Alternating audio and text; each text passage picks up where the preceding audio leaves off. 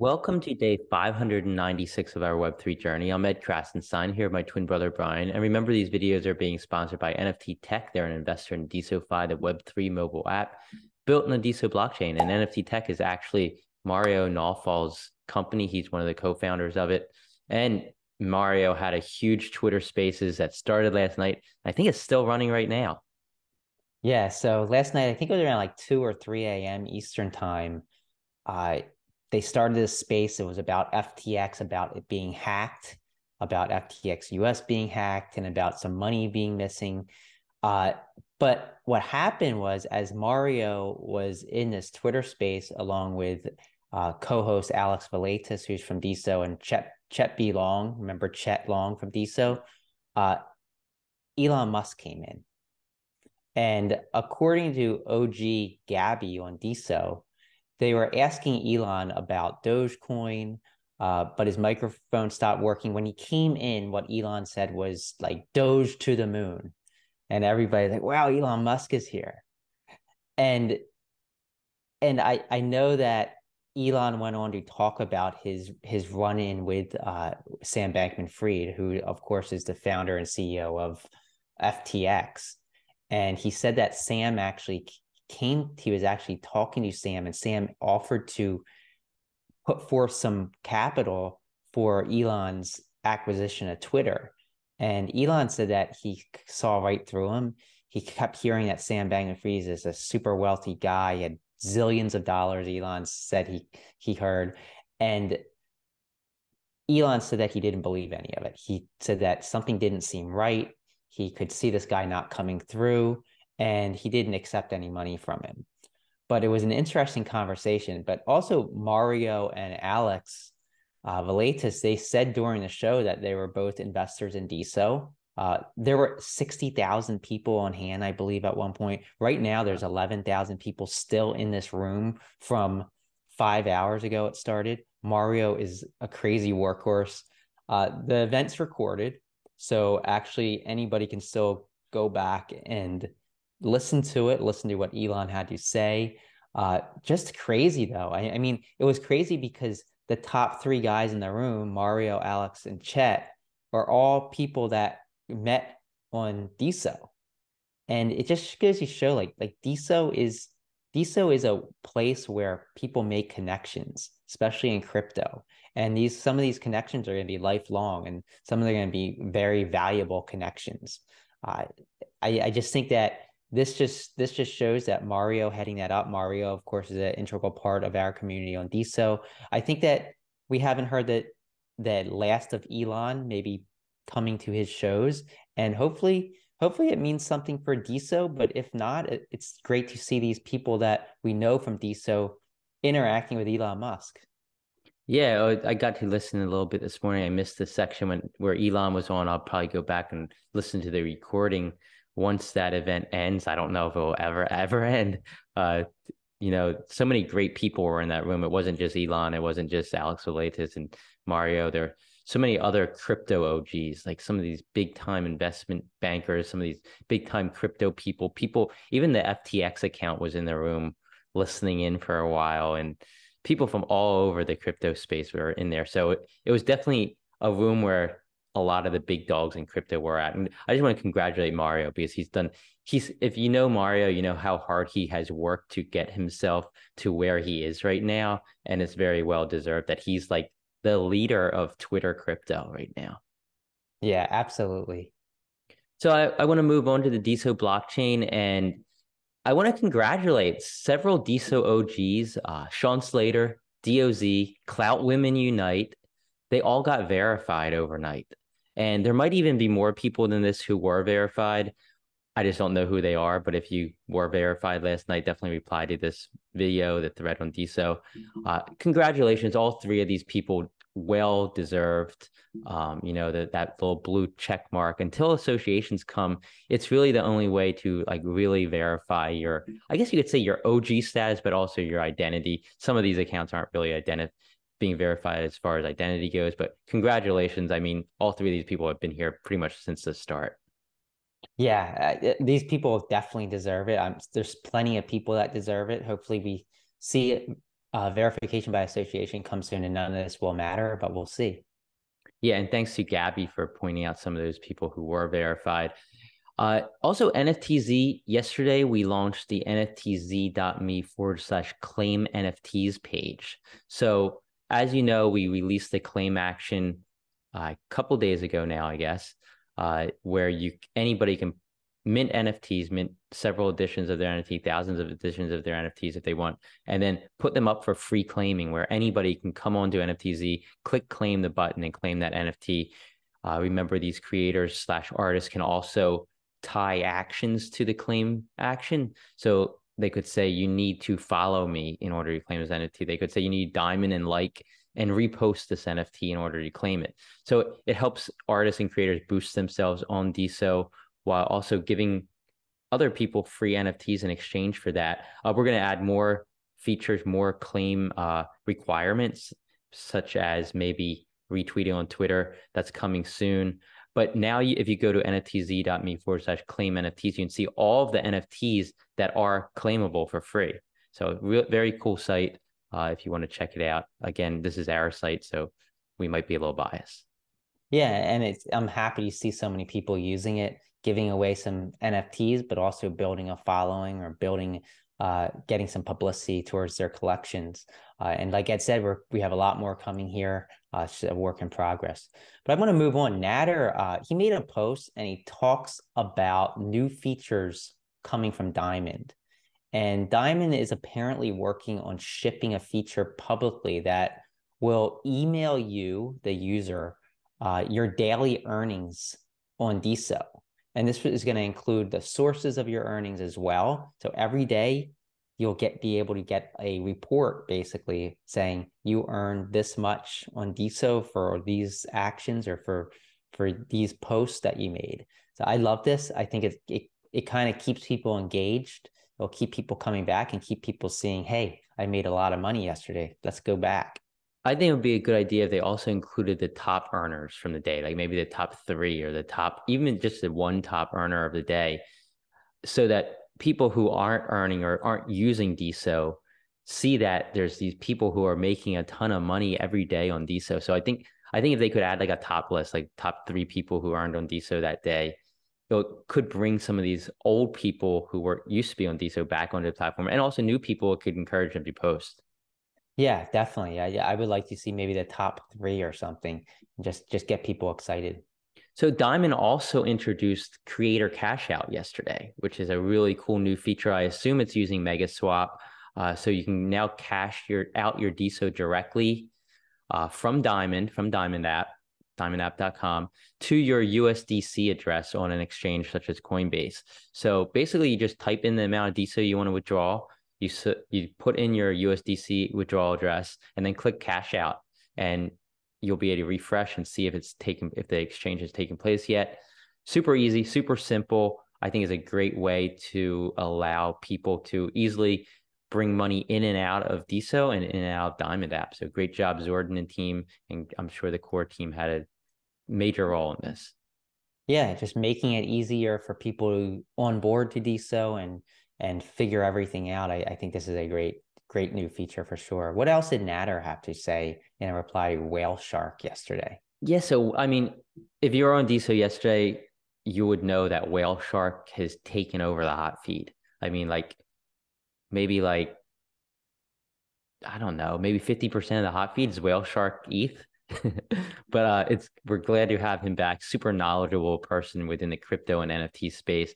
Uh, replied to him saying that the core team's working with Desofy to take it to the next level, and he said this is especially the case surrounding onboarding. So, you know, Desofy is the mobile app on the DeSo blockchain but it's I think it's really good. This is the first time we hear like the core teams actually working with them to improve the onboarding process because I think onboarding is huge for a mobile app, and I'm I'm just glad to see that Nader and the core team are helping Reball out in improving this.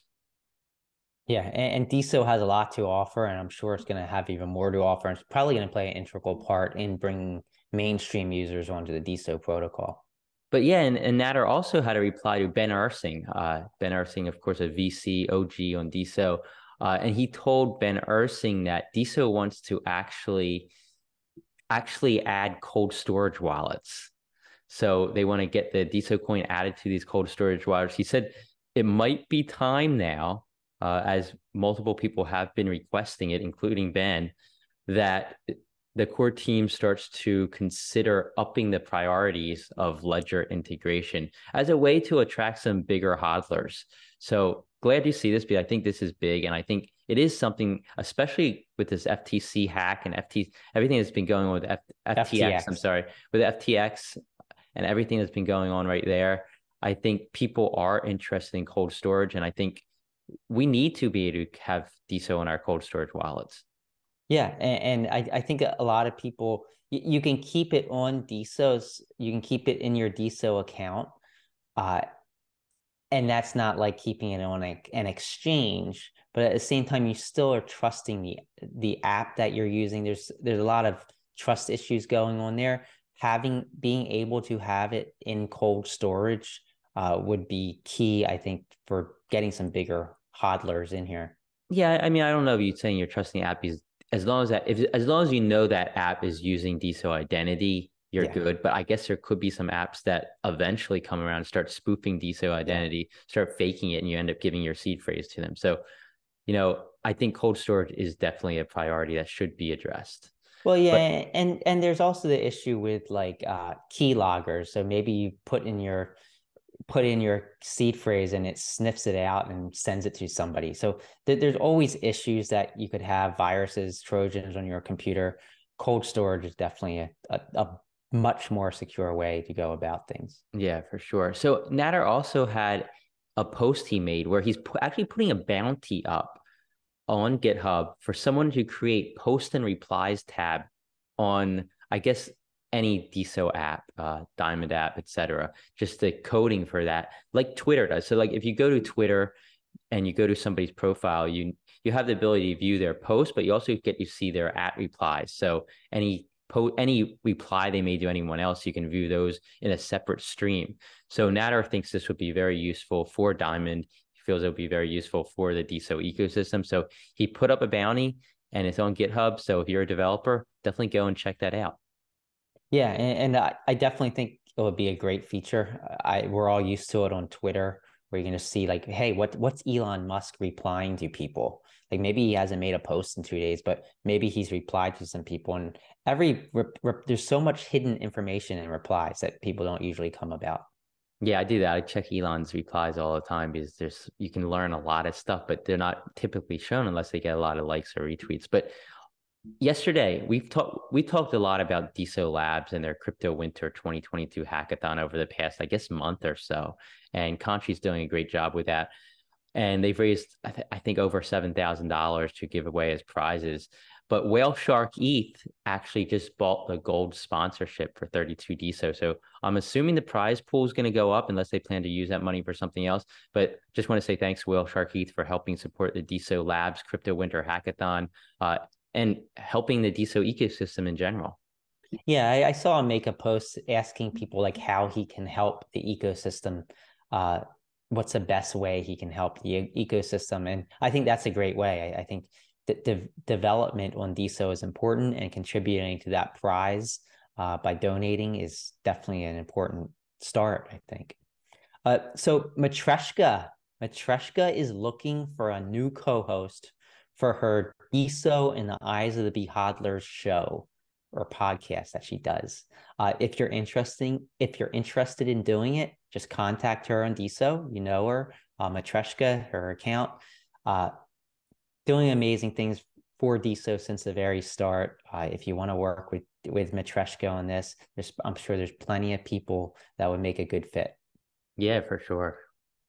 Also, Thorsten OG developer, uh, he has launched a early beta version of a new layer two DeSo app that he calls SuDeSo, uh, S-U DeSo. Uh, it's a community-like app that lets you find content by categories uh, and post content into categories. So if you want to post it into a specific category, you can do that. Uh, he also says that it's going to focus on speed simplicity, content discovery, fair monetization, and revenue share. Uh, I checked it out. It's obviously still in early beta, uh, but you can get a sort of idea of what it's going to look like. Um, Thorsten's great. Thorsten's been building since the beginning. I don't think he gets enough credit. Yeah, I agree 100%. He's one of those OG developers who have been here building upon building upon building. And some of his stuff, you know, catches on. Some of it, it kind of fizzles out because people aren't too interested, but he doesn't give up. He keeps trying and keeps coming up with more unique ideas. So keep up the great work, Thorsten. Your your ideas are amazing, and I just love seeing all your new creations. Yeah, and speaking of another OG, DOZ, uh, in a reply to Whale Shark ETH, he said that he's writing a banga, A B A N G A, and it's a sci-fi fantasy anthology anthology series. Um, it's an NFT project, and there will eventually be 99 audio visual NFTs scattered across the multiverse via blockchains. He said, and each NFT is going to unlock a piece of the series. Uh, they're also going to be printing the book and distributing it via audiobook through Amazon uh, slash Audible. Uh, and, and you can view the original knockoffs, as he calls them, at abanga.nftz.me. Uh, definitely check it out. DOZ has is an amazing talent in in multiple ways, uh, and I'm sure this is gonna be awesome. I'm sure and he's now verified. He's now verified now on verified. Uh, so Salil Shah, the new COO of DeSo, uh, we haven't heard much from him since he started. Uh, he did put out a blog post. I'm sure he's very, actually, I know he's very busy, but he made a post highlighting his first two weeks in Web3 on the DeSo blockchain. He said he's been blown away by the passion of the DeSo community. And he said that he thinks the DeSo community is flipping the narrative that creators don't get paid for what they're doing on web 2 you know like on instagram and twitter everybody posts for free and aren't expecting to actually make money for what they do but DeSo's kind of flipped that narrative where you can post and expect to get diamonds. You expect to get some sort of earnings from just a simple text post, even. Uh, so he's excited about that. He said he's watching Web3 for a while, uh, but he passed on other opportunities because he didn't see the true tangible value there. He said a lot of those ideas seem like crypto for the sake of crypto. Uh, you know, like these Web3 ideas, a lot of them are like, okay, it's crypto, so let's do something crypto related. Who cares if there's really much benefit? The whole idea of crypto is going to bring people in. And he yeah, said, like, these... like, yeah, I think like, like there's a lot of get rich quick schemes, I'd say, where people are like, uh, let's let's add crypto into this, or let let's let's use crypto because then I can have my own token and I can make a lot of money with this token. I, DeSo isn't like that. I don't feel. No, yeah, like I, I think DeSo they use crypto for what it's needed for, and crypto allows them to, I guess I should say blockchain allows them to do what they want. Uh, he said with DeSo, he feels it's an exception uh, because with DeSo, it's all about solving real problems like helping creators make money, enabling self sustaining communities, and helping creators and fans connect with one another across platforms and apps. And I agree 100% with that. Uh, he said he's still learning about DeSo, and it's it's a big learning process. He's studying the roadmap. He's you know having talks with the core team. He also said he's had some fun debates and brainstorming sessions with Nader. I'd love to be a fly on the wall for that, listening to Salil Shah and Nader debate certain topics. And I, I think that's great. I think it's healthy because I think Nader, you know, he has this grand scheme in his head, but he needs somebody to kind of bounce ideas off of. Uh, he said that he's excited to put together his business roadmap soon as well. So I don't know if that's going to be released publicly or not, but that would definitely be something I think the community would love to see. Yeah, I, am I'm, I'm really confident that uh, Shah is going to make some waves. I think with DeSo, I think if nothing else, him freeing up time for Nader to keep building. And I think building is so important, especially right now when the whole crypto market's down big time. Uh, I, I, think the fact that Nader's going to be to keep building, he's going to be able to take on the the the business side of things. Uh, I, I think that's big, and I think it's going to help DeSo. It's going to help push forward things a lot faster. Yeah, definitely. So, as many of you know, NFTZ.me is the only place where you can post and view live time DeSo NFT auctions. Just go to NFTZ.me forward slash auctions and you see all the auctions that are ending soon. And these are all the timed auctions. Uh, I just want to highlight a few that are ending in the next 24 hours. Uh, the very first Piper Penguin NFT, number one of a hundred. There's a hundred in the series. Number one ends today at 8 p.m. Eastern time. We talked about this series, oh, I guess a couple weeks ago about it was coming soon. It's actually created by a young man named John Wells. He's the son of Nathan Wells, DeSo Nathan Wells. This number one NFT has a minimum bid of just 0.5 DeSo. And like I said, it ends tonight at 8 p.m. Eastern time. So definitely check that out. You get the very first in the series if you want to bid. Uh, also, Zian Mead is auctioning off an effed up cat season three, number 841, that ends at a little bit after midnight tonight. Uh, definitely check it out. It's a really cool one. And Elric Ericos has more photography NFTs up for auction, and they end between 4 and 5 p.m. Eastern time today. His photographer's photography is awesome if you haven't seen it yet, and you get his NFTs pretty affordably. Yeah, and I want to quickly get to the top NFT bidders on the DeSo blockchain in the last 24 hours, according to NFTZ. They are as follows: Ambitious Lynch, Dead Metal, DOZ, Marco Dietrich, Shadow Crypto, Leo J, George T, Zian Mead, Pickle Joe, and Dr. Rob and top diamond creators over the last 24 hours. Thanks to our friends at Altumbase for this list. These people received the most diamonds or tips on their posts and replies on the DeSo blockchain last day. Whale Shark ETH, who's been all over the place, Sage, Lil Lover, Regina Marie, Nader, Krassenstein, which is us, of course, Shady Acres, Pixel Angelo, Sean Slater, and X Money. Yeah, congratulations to everyone. Everybody have a great rest of your Saturday. Have a great weekend, and we'll talk to you tomorrow.